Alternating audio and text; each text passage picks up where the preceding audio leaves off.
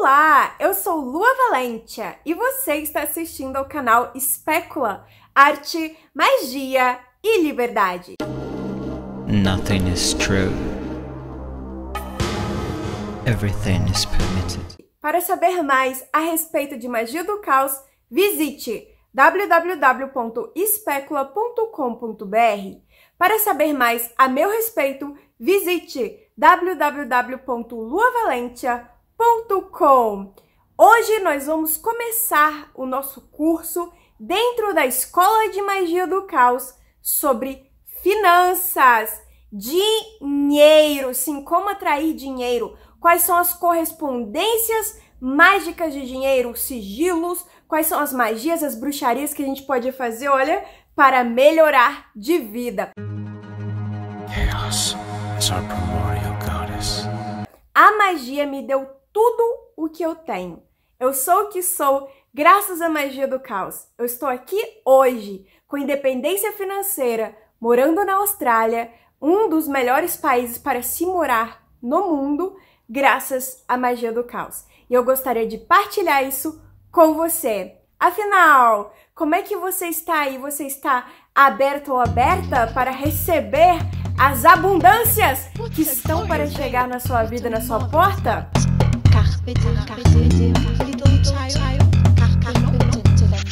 Então eu estou aqui, ó, com os roteirinhos de alguns dos vídeos que eu vou fazer. Tem inclusive vídeos sobre sigilo, como usar sigilo para aumentar as suas finanças.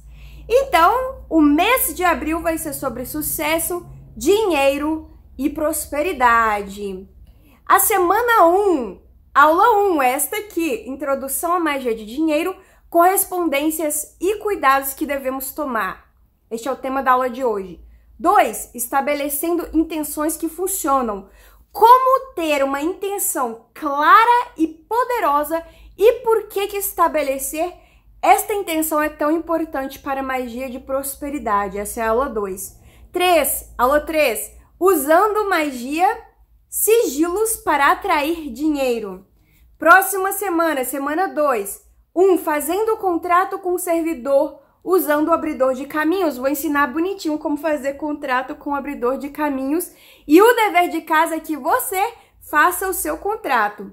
2. Fazendo contrato com a Fortunada. 3. Fazendo contrato com a Honda. Semana 3. Ritual com teia de aranha para atrair dinheiro. Aula 2. Ritual com velas para atrair dinheiro. Aula 3. Ritual com caixa para atrair dinheiro.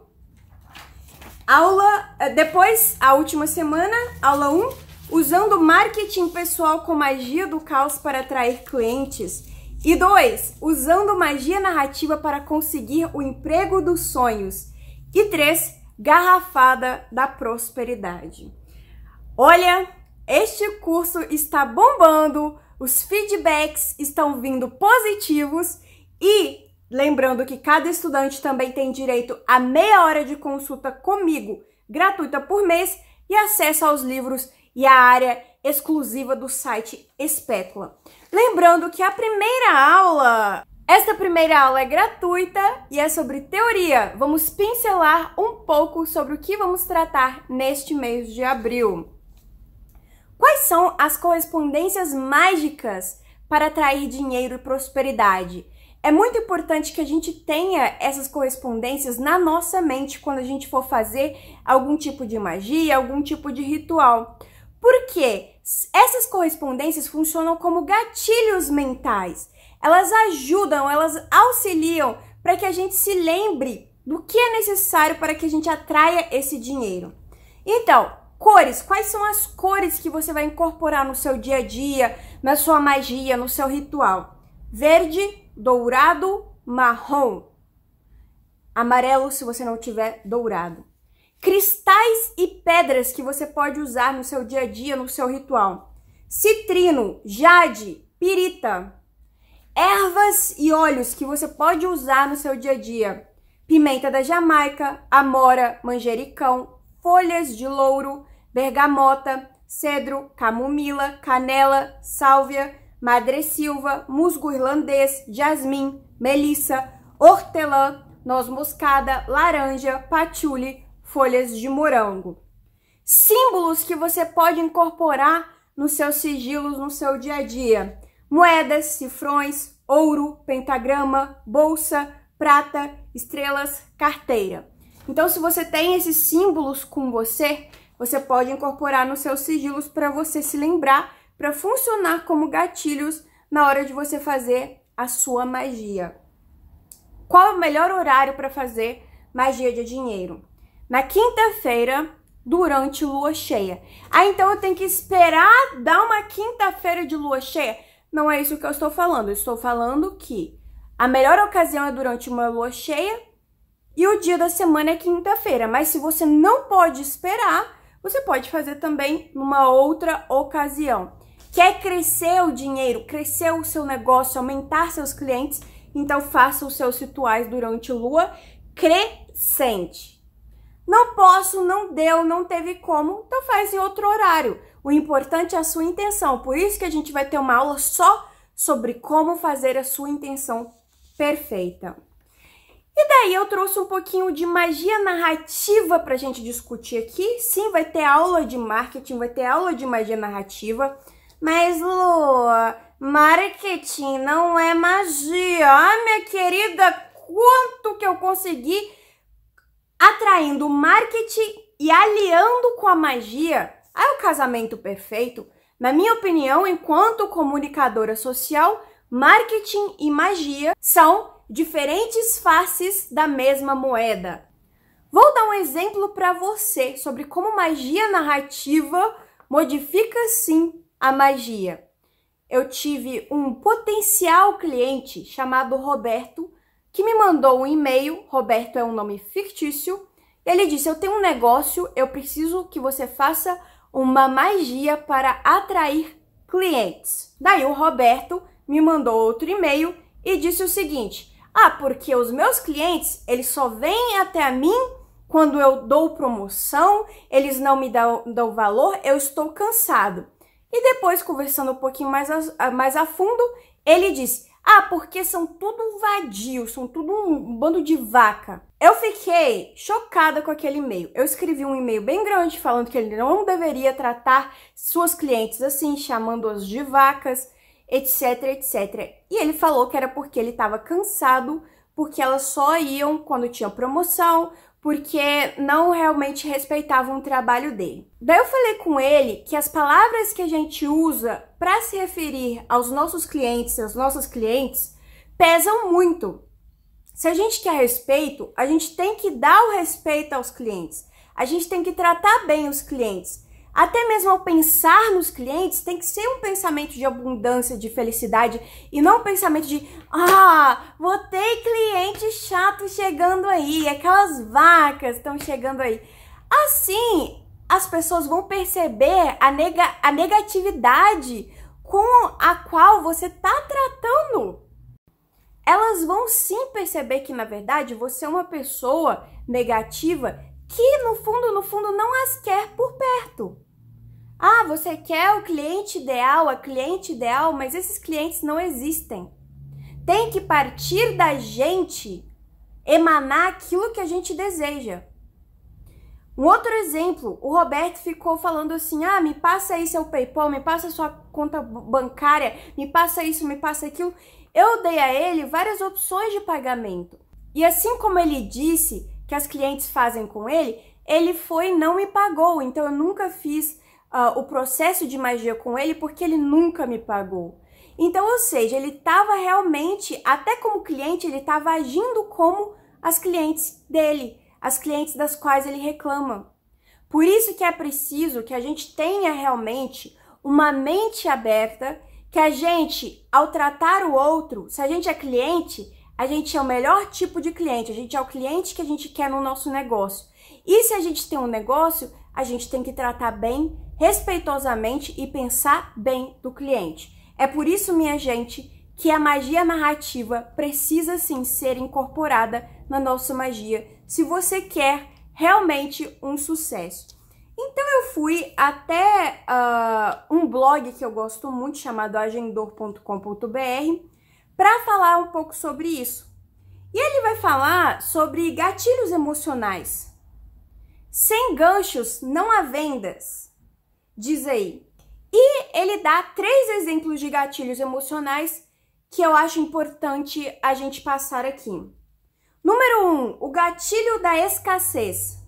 É um dos mais poderosos. É quando você fala que o seu produto tem pouco do que você está oferecendo, tem pouco do seu produto. Então compre agora, senão vai acabar. Se você fala, por exemplo, que existem vagas limitadas para o seu negócio, mas tem que ser algo, gente, feito de verdade. Não pode ser aquele e-mail que você fala assim, ah, última vez, última venda, último lote, e depois você muda de ideia e fala, não, ah, não, peraí um pouquinho aqui que tem mais um aqui. Isso não funciona. Você tem que fazer o gatilho da melhor maneira possível.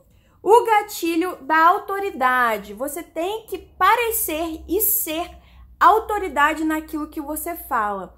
Então, toda profissão ela tem uma série de simbologias, ela tem uma série de, de mensagens, de palavras que são atreladas a essa profissão. Então, o médico, ele se veste de um jeito, o advogado se veste de outro, cada profissão tem um conjunto de jargões, conjunto de vocabulário que é de acordo com, com a profissão. Uma bruxa profissional se veste de um jeito não quer dizer que você tem que seguir aquilo ali, que tem que ser do jeitinho ali. Não, minha gente. É claro que você pode e deve colocar toques pessoais ao que você apresenta como autoridade.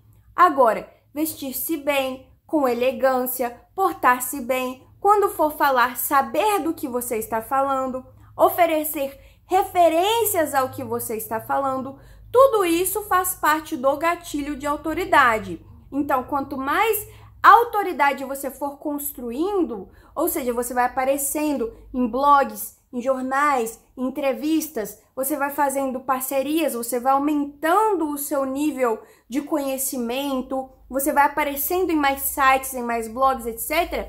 Mas você realmente é visto como autoridade e as pessoas começam a te procurar porque você acaba sendo a referência naquele assunto.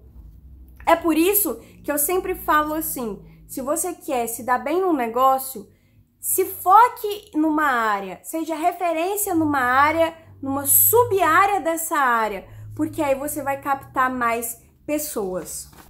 E daí o terceiro gatilho que eu acho super importante trazer aqui também é o da prova social, ou seja, você tem que ter depoimentos de pessoas falando a respeito do seu trabalho, tem que ter referências do seu trabalho, as pessoas têm que começar a conversar sobre o seu trabalho. Você tem que criar realmente essa rede em torno de você, que aí você vai começar a atrair mais clientes e vai aumentar o seu poder de magia narrativa. Se você tem outras narrativas que estão embasando a sua narrativa principal, Logo, você tem mais autoridade naquele assunto, você tem a prova social de que você é bom naquilo, então isso realmente ajuda a aumentar as suas vendas, ajuda a aumentar a sua capacidade. Gente, é sempre bom também a gente cumprir com a nossa promessa. Se a gente diz que vai entregar alguma coisa, é bom entregar dentro do prazo estabelecido que a gente deu. Obviamente, coisas estranhas acontecem, às vezes que não tem nada a ver com a gente mas é bom que a gente cumpra o máximo da nossa promessa dentro do prazo que a gente estabelece aos nossos clientes. A magia narrativa é sobre as emoções que você desperta nos outros. Será que você é realmente uma pessoa bem apessoada? Será que você passa caráter? Será que o seu cliente pode confiar em você? Qual a energia que você está transmitindo para o seu cliente? Será que realmente querem chegar até você? Querem comprar o seu produto? Então, essa questão de energia, essa questão do seu caráter, essa questão de se seu produto é bom ou não, tudo isso vai estar dentro do que a gente chama de magia narrativa. É a narrativa que você está contando e também que você está passando na prática. É preciso na vida, não importa se você está trabalhando por uma empresa ou se você quer mais clientes, criar alianças, fazer conexão, fazer networking. Isso é de suma importância, por isso que a gente tem que ir a eventos, por isso que a gente tem que ter sempre em mãos o nosso contato para realmente compartilhar isso, mostrar qual é a sua história, partilhar a sua magia narrativa, porque se você tem a narrativa, mas não tem quem ouve, não adianta nada, você não consegue atrair mais clientes, atrair mais dinheiro com isso. Invista no boca a boca, invista nas redes sociais, invista em marketing digital. Hoje em dia, especialmente no meio dessa pandemia, é isso que está fazendo a diferença de quem realmente consegue trabalhar em casa tendo clientes e quem não. Invista no online, é o centro de tudo e vai ser o centro de tudo após essa pandemia. Invista também em embaixadores da sua marca. São as pessoas que vão representar a sua marca. São as pessoas que vão realmente compartilhar o que a sua marca precisa. Portanto, crie realmente um grupo para sua marca, um grupo de pessoas falando sobre você. Nem que a sua marca seja apenas você, o produto seja você. Se é isso que você quer vender, então é isso que você precisa passar para frente deixar com que as pessoas falem de você e que falem o melhor possível. Para isso, você precisa realmente ser aquilo que você prega. Obviamente, a magia prática de rituais de sigilos realmente ajuda. Isso nós veremos nas próximas aulas. Lu, eu estou gostando muito do seu curso. Como é que eu faço para me tornar estudante da magia do caos? simplesmente vá no Apoie-se, comece a apoiar como estudante do caos, envie um e-mail para luavalente.gmail.com dizendo que você começou a estudar no caos e que você fez a sua matrícula. Aí eu vou liberar o seu acesso lá na Especula www.especula.com.br. Vão ser aulas intensas e eu estou na expectativa máxima dessas aulas. Eu estou muito feliz com essas aulas. Eu estou muito feliz com o conteúdo que eu separei para vocês dessas aulas. A gente está criando realmente uma rede social incrível de magistas poderosos. Se você quer ser o próximo, eu conto com você. Um grande beijo e até o próximo vídeo.